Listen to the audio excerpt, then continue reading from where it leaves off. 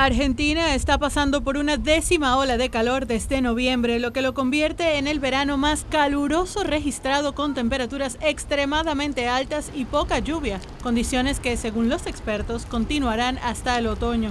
El Servicio Meteorológico Nacional informó que este es el verano más caluroso desde 1961, cuando se inició la medición de temperatura a nivel nacional.